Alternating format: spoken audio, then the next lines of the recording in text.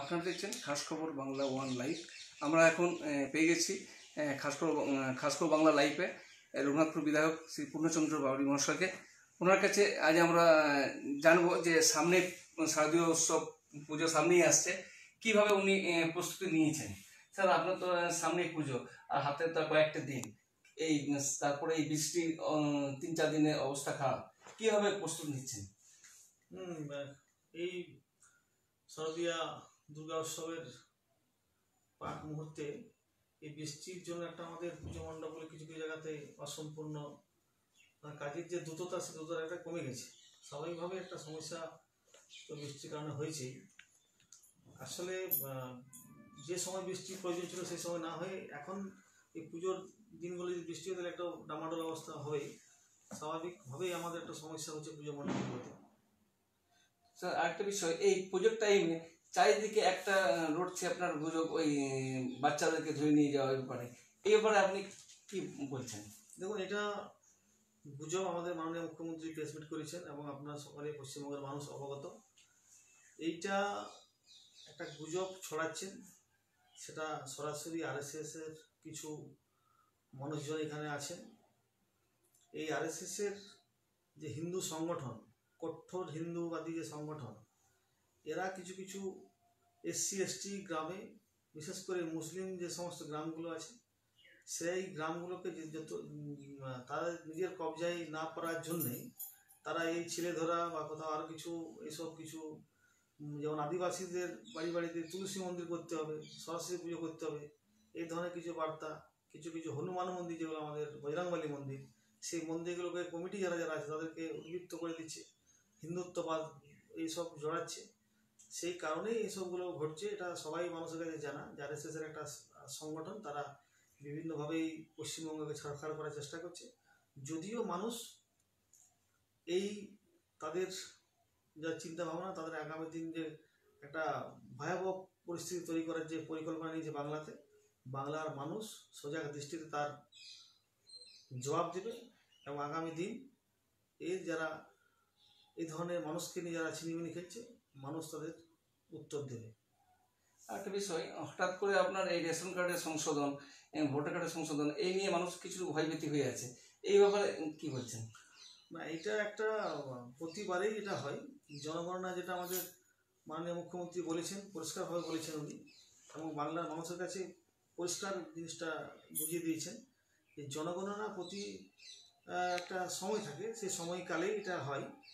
আর দ্বিতীয়ত রেশন কার্ডের যে সমস্যা, রেশন কার্ডে অনেক মানুষজন তারা বাইরে থাকেন, কেউ হয়তো বিপিএল ছিলেন, এপিএল, এই ধরনের কিছু কিছু নামের ভুল, এইসবগুলো একটা সমস্যা থাকে, যেমন ভোটার লিস্ট যেমন হয়। স্বাভাবিক সেই, সেইটাকেই পরিষ্কার ত্রুটিমুক্ত করার জন্য এটা এটা হচ্ছে। এমনই যেটা কোথাও এনআরসি বা এই ধরনের কিছু একটা গুজব পশ্চিমবাংলাতে, এটা করার ক্ষমতা নেই। এনআরসি মাননীয় মুখ্যমন্ত্রী পরিষ্কার বলেছেন যে ভয়ের কোনো আশঙ্কা নেই, ভয়ের কোনো কারণ নেই। বাংলার মানুষ জানে, এই ধরনের যারা জাতিকে হিন্দু, মুসলমান বা অন্যান্য শিখ, ইসাইকে বিভাজন করার রাজনীতি করছে, এটা মানুষ কখনো বাংলার মানুষ মেনে নেবে না। তার কারণ এই মাটি, রবীন্দ্রনাথের মাটি, এই মাটি, নজরুলের মাটি, এই মাটি বিবে- বিবেকানন্দের মাটি, স্বাভাবিকভাবে মমতা বন্দ্যোপাধ্যায় পরিষ্কার বলেছেন, যতদিন বেঁচে আছেন উনি কখনোই এটাকে মেনে নেবেন না। ফলে আমরাও পশ্চিমবাংলার মানুষ এই হতে কখনোই দেব না। স্যার, এবার তো পুজো আপনি প্রতি বছর নাই করছেন। এবারে নতুন কিছু চিন্তা ভাবনা করেছেন? এবারের আমাদের নিতুড়িয়া অঞ্চলে বা রঘুনাথপুর বিধানসভাতে প্রচুর জায়গাতে আমাদের থিমের পুজো কোথাও অনেক বড় বড় পুজো হচ্ছে। এটা আমাদের কাছে একটা আনন্দের বা আমাদের কাছে গর্বের। বাঙালি হিসাবে আমরা নিশ্চয়ই এই আনন্দের দিনগুলো তো সকলেই আনন্দে কাটুক এই আমরা সকলেই চাই। তবুও আমাদের পুজো মণ্ডপগুলো যেগুলো আছে মানে নিতুড়িয়াতে একটা সাড়া ফেলার মতো, আমাদের ভাঙুরিয়া, নিতুরিয়া পারগুলিয়া সরবড়ি এই যে পুজো মণ্ডপগুলো, সেগুলা অনেক বড় বড় থিম পুজো, কোথাও বিভিন্ন মন্দিরকে তুলে আনা এই ধরনের একটা বাঙালি আনা এই ধরনের মধ্য দিয়ে আমাদের এই থিমগুলো হয়। এবছর আমাদের সর্বোপরি সার্বজনীন দুর্গা পুজো কমিটি পনেরো বছর পা রেখেছে।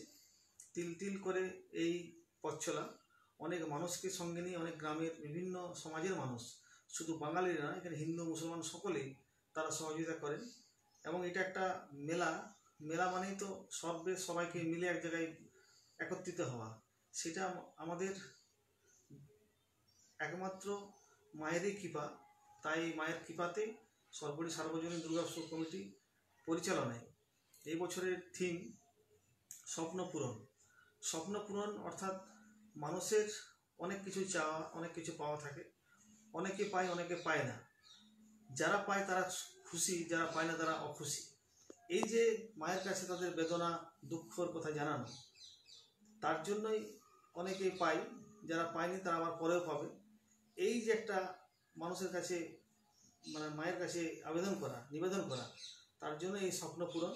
এই স্বপ্ন পূরণের মধ্য দিয়ে একটাই মানুষের কাছে বার্তা দিতে চাই যে, স্বপ্ন পূরণ মানেই তার জীবনের শেষ না। আরও অনেক কিছু পাওনা আছে। নিশ্চয়ই মা একের পর একের পর এক দেখবেন। এটাই আমাদের মূল লক্ষ্য। স্যার একটা বিষয় আমরা পুরুলিয়া ডিস্ট্রিক্টে যেটুকু জানি নিতুরিয়া ভামুরিয়া মানে দেখার মতন ভিড় ভিড় হয়ে পড়ে। তো প্রশাসন থেকে তো একটা থাকবে কি গার্ড সেই হিসাবে আপনাদের তরফ থেকে কোনো কি এক্সট্রা থাকবে ভলান্টিয়ার আমাদের প্রতিবারই প্রতিটা পুজো কমিটি আমাদের নিজস্ব ভলেন্টিয়ার থাকে সিসি ক্যামেরার বন্দোবস্ত থাকে এবং রাস্তায় রাস্তায় দেখুন প্রতি জায়গাতে সিসি ক্যামেরা লাগানো আছে আমাদের। পুজো মণ্ডপ কমিটি থেকে বিভিন্ন জায়গাতে আমাদের ভলেন্টিয়ার থাকে, যে যেগুলো ছদ্মবেশী থাকে। অনেকেই জানতে পারে না তারা কারা। কোনো ব্যাচ থাকে না, কিন্তু আমাদের নিজস্ব ভলেন্টিয়ার থাকে। এবং পুলিশের তো প্রচুর ভূমিকা এখানে আছে। এবং পুলিশ এবং পুজো কমিটি সকলে মিলেই আমরা এই সামালটা দিতে পারি। এটা সত্যিই এত বড় ভিড়, যেখানে লাখ লাখ মানুষের সমাগম হয়। সেখানে ছোট্ট একটা কোনো কোনো একটা ঘটনা সেরকম কিছু আমরা আমাদের চোখে পড়েনি।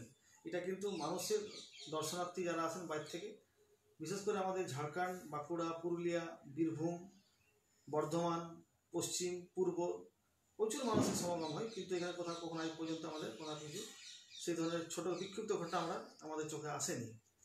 আর পুলিশের তৎপরতা আছেই। এখানে প্রতিটা পুজো কমিটি তারা নিজস্ব ভলেন্টিয়ারের মধ্যে দিয়ে এটা দেখেন। স্যার এই তো টানা চার পাঁচ দিন বৃষ্টি হলো। এখনও পর্যন্ত মনে হয় প্যান্ডেল কমপ্লিট হয়নি। সেক্ষেত্রে মানে কীরকম অসুবিধায় পড়তে পারে? অসুবিধা তো হবেই একটা, যেহেতু বর্ষার জন্য বিভিন্ন কাজগুলো ঠিক মতো করাতে পারে, কারণ অনেকেই কাজ, এটা তো কৃত্রিমভাবে স্বাভাবিকভাবেই যেখানে ধরুন একটা রোদের দরকার আছে শুকোনোর, সেখানে রোদের শুকনো আছে, সেটাকে মেশিন দিয়ে শুকাতে দিচ্ছি। এই কিছু কাজ, রঙের কিছু কাজ আছে যেগুলো যে রঙগুলোকে ধরুন বৃষ্টির জন্য দিতে পারছে না বাইরে। কিছু কাপড়ের কাজ প্যান্ডেলে যেগুলো থার্মোকল লাগানো সেগুলো একটা অসুবিধা হচ্ছে। এবং শিল্পী যারা আছে তাদের একটা সমস্যা হচ্ছে এখানে। একটু যে সময়ে যে পিরিয়ডে দেওয়ার কথা ছিল ডেলিভারি সেগুলো হয়তো কিছু জায়গাতে আমরা থেমে যাব। আশা করছি তবুও যেভাবে রাত দিন অহরহ পরিশ্রম করে কাজটা করছেন আশা করছি তাড়াতাড়ির মধ্যে উঠে যাবে। স্যার শেষ প্রশ্নই আসছি। আপনি তো এই কদিন আগে এই গতকালই মনে হয় আপনি মণিপুর হোমে একটা বাচ্চাদের একটা কিছু আহ, কর্ম করে এই ধরনের কি কর্মসূচি কি আর দুর্গাপুজোর মধ্যে রেখেছেন? হ্যাঁ আমাদের প্রতি বছরে এই ধরনের সমাজমূলক কাজ হয়ে থাকে। আমরা যেমন সরকারি কিছু প্রোগ্রাম আমরা প্রতি বছর করে থাকি। যে অনেকেই ধরুন যেখানে কৃষক চাষিরা এবছর যেহেতু বৃষ্টি হয় না চাষ এখানে একদমই চাষ পুরুলিয়া জেলায় হয়নি ম্যাক্সিমাম জায়গাতেই তো সেই জায়গাতে এই কৃষক কিষাণ ক্রেডিট কার্ড যেটা, সেই কিষাণ ক্রেডিট কার্ডের জন্য ফর্ম দিয়ে আমরা সেটাকে ব্যবস্থা করে দিই আমাদের এখানে মণ্ডপ থেকে। এবং অনেক ছেলে মেয়ে যারা আছে তাদের স্কলারশিপের ফর্ম টর্ম যেগুলো অসুবিধা থাকে, সেগুলো আমরা এই পুজো মণ্ডপ থেকে করে থাকি। সাংস্কৃতিক অনুষ্ঠান তো হয়েই, বস্ত্র বিতরণ থেকে শুরু করে সমস্ত যাই।